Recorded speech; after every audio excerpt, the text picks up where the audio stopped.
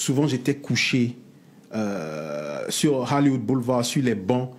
J'étais couché, je dis, c'est moi le fils de mon père et de ma mère qui traverse ça. C'est que Dieu a un plan pour moi. Moi, j'étais pas fataliste. Je l'ai pris positivement. C'est après, on m'embauche dans une auberge de jeunesse où tu, tu travailles deux ou trois jours dans la semaine, tu as un lit gratuit et puis le reste, tu hustles. C'est comme ça que moi, j'ai fait juste peut-être un seul semestre sur le campus et tout le reste, j'étais en auberge de jeunesse. Tu vas à l'école, tu bosses en auberge de jeunesse, tu as tes petits gombos. C'est comme ça, moi, Entertainment a commencé à faire du red carpet et de l'event. Pendant que j'allais à l'école, je rencontrais du monde, etc., etc. Mon, my point is that j'ai jamais abandonné. La résilience. Je me souviens quand j'étais, souvent j'étais couché euh, sur Hollywood Boulevard, sur les bancs. J'étais couché, je dis, c'est moi le fils de mon père et de ma mère qui traverse ça. C'est que Dieu a un plan pour moi. Moi, j'étais pas fataliste. Je l'ai pris positivement. Parce que je savais que demain allait être mieux. Ah, je reviens de loin. hein. Big up à ma soeur Binta Sanogo qui a été là, d'un soutien incommensurable. À la Paris, elle m'appelle. Il y a eu beaucoup d'histoires, on peut, ne peut pas tout dire. A- Mais j'ai jamais abandonné et j'ai toujours été propre sur moi. J'ai toujours. J'ai jamais abandonné. Je, je- je- chaque fois, je me disais, ça va aller. Dieu éprouve ceux qu'il aime. Parce que c'est dans le Coran. Allah éprouve ceux qu'il aime. On dit tout ça, toute épreuve de Dieu, même une piqûre d'insecte, vaut de la part de Dieu la rémission d'une partie de vos péchés. C'est comme ça que moi je voyais les choses. Donc j'ai jamais été fataliste.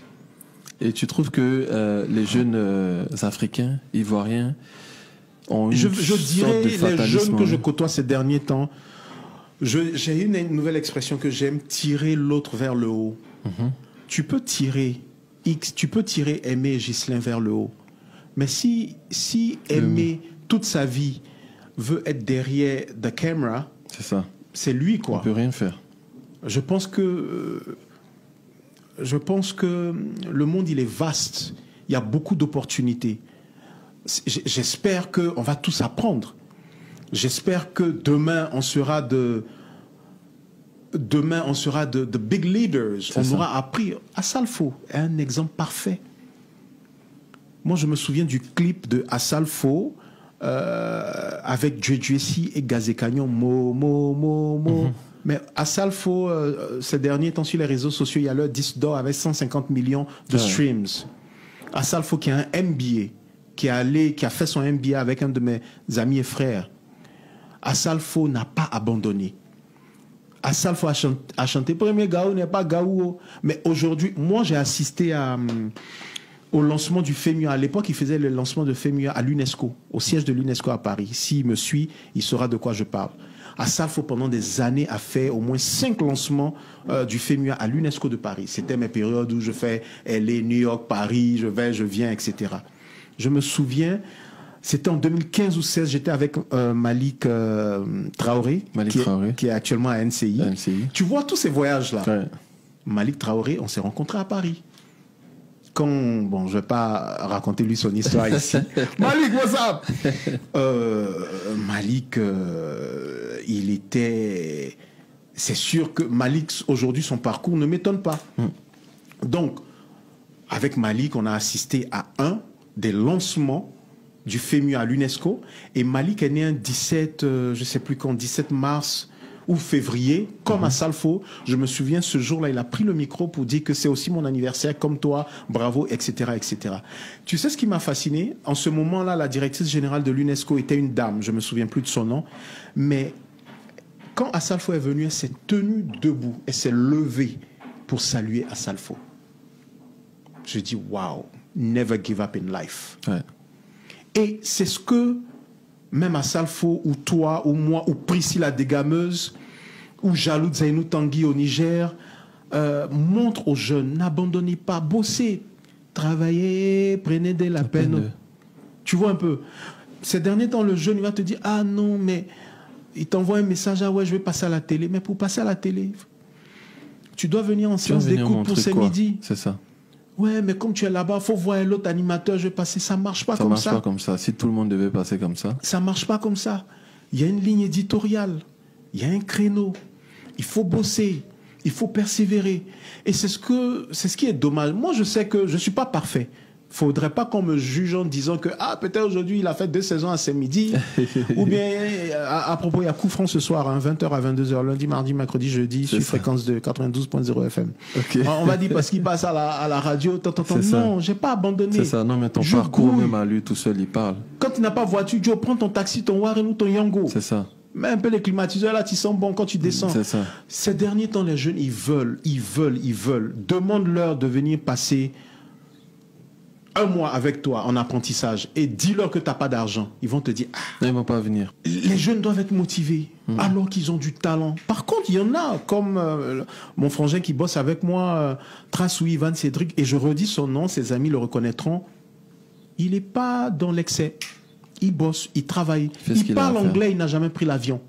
Il comprend. Et moi, euh, moi, tout est en anglais. Je ne fais pas exprès. Mon phone, tout est en anglais. Souvent même les emails professionnels, je fais en français et puis, you know, je termine en anglais. On pense que je fais exprès. Je ne fais pas exprès. C'est ce qui sort, quoi. C'est plus. C'est ce qui sort. C'est plus instinctif. Mais clavier AZERTY, je peux pas. Faut Viens avec soit... ton clavier. Si c'est AZERTY, je peux pas. Il faut que ça soit du QWERTY. Il faut que ce soit du QWERTY. Et je trouve qu'il y a beaucoup de gens qui vont vers l'information, qui bossent, qui se donnent. Ça. Et la première plateforme gratuite, c'est YouTube. Moi, sur YouTube, j'ai appris à faire mes sites internet, mm -hmm. j'ai appris plein de choses, les tunnels de vente, plein, plein, plein, ouais. plein de choses. D'accord.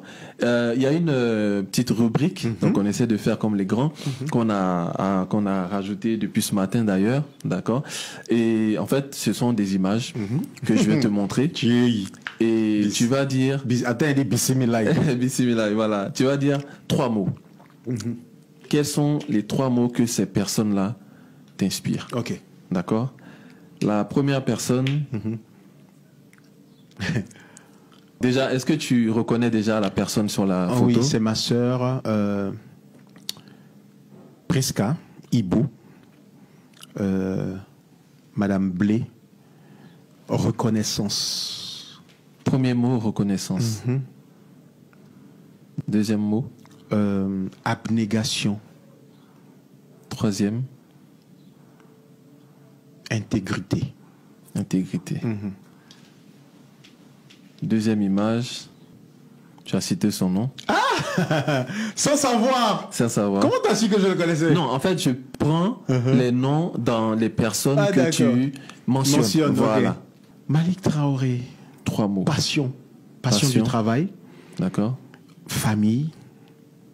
D'accord. Sourire. Sourire. Mm -hmm.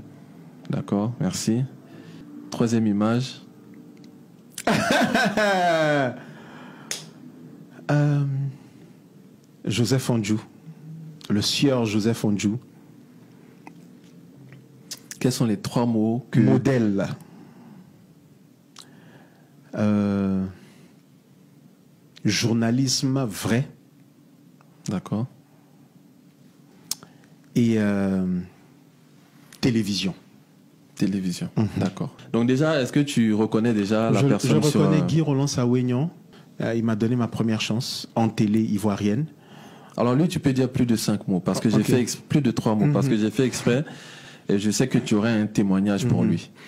Alors, euh, je, je, rentre du Niger. Je rentre du Niger. Je, Diaby Mohamed. Euh, je rentre du Niger. Je vais voir, je suis avec Alpha Sissé, euh, le directeur général de Bécos. on va voir Mokobe. Je connais très bien Mokobe parce que euh, on s'est connu à 113. Voilà. Il a bercé notre enfant celui-là. On s'est connu à Los Angeles euh, euh, avec Adjakobele Keita. plus ou moins, on a organisé son arrivée pour les BET Awards mm -hmm. à Los Angeles. C'est comme ça que nos affinités, notre fraternité a commencé. Je vais voir Mokobe et au sorti, je tombe sur Diaby Mohamed, qui est l'un des précurseurs de tout ce qui est numérique en Côte d'Ivoire, un grand frère aussi de Yam Sokro. Et je lui dis, ah, je viens d'arriver, euh, je, je, veux faire de la télé. Il me dit, appelle Charlène Danon, dis-lui que tu viens de ma part. Charlène Danon, déjà, euh, qui est aussi écrivaine, qui a sorti euh, Il y a un Dieu pour les cons. Il y a un Dieu pour les cons, oui. Je l'appelle le lundi, elle me dit, viens. Tac, tac, tac, on parle. Je la connaissais pas, sincèrement. J'avais jamais entendu parler d'elle. Parce que dans le milieu, il y a des gens que je connaissais et tout, mais pas elle. le courant passe, euh, voilà, et Guizot arrive, donc bien évidemment, je vais voir Guizot, je suis content. Je dis, I want to do my talk show. Je veux faire mon talk show comme euh, euh, Trevor Noah, Jimmy Kimmel, parce que lui aussi, c'est un stétois, il a fait les states. Donc chaque fois, je dis, I want a talk show. C'est vrai que j'étais pas prêt, mais il, connaît ma motivation.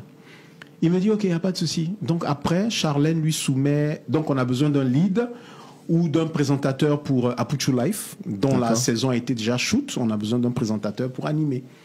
Et euh, euh, grâce à Dieu, grâce à Charlène Danon et ses efforts, grâce à Guizot qui a validé, grâce à Fabrice Aouignan qui a validé, je suis le présentateur de Apuchu Life avec euh, Maïmouna Kone, épouse Touré, avec euh, Shekou, le producteur de Didi B et d'autres. Euh, donc, mon premier moment instant télé, c'est grâce à Live TV. Il faut jamais cracher sur, sur la soupe que tu as, as, bu la veille. quoi. C'est ça, voilà. le début. Merci, merci. Donc merci à lui. La quatrième image. Mhm. Juste trois mots. Hmm. Quels sont les trois mots que cette personne que tu as, je ne sais pas déjà, est-ce que tu as reconnu le... Joël Nyepa Anani, leader. Leader? Unstoppable. Wow, ok. leader, unstoppable, charisma. Charisme, d'accord. Merci. Le podcast qui met en avant des personnes, des personnalités, des parcours, des activités inspirantes et surtout qui participent à l'essor de la Côte d'Ivoire en particulier et de l'Afrique en général. Aujourd'hui, nous avons reçu un grand homme de médias, quelqu'un de passionné, au parcours très très intéressant et c'est avec beaucoup euh, d'enthousiasme et de d'honneur que j'ai dirigé ce podcast. J'ai beaucoup appris de lui et je suis convaincu que je ne sais toujours pas tout. Parce qu'à chaque fois que j'échange avec lui, je découvre une nouvelle facette euh, de lui. voilà. Il est chanteur également.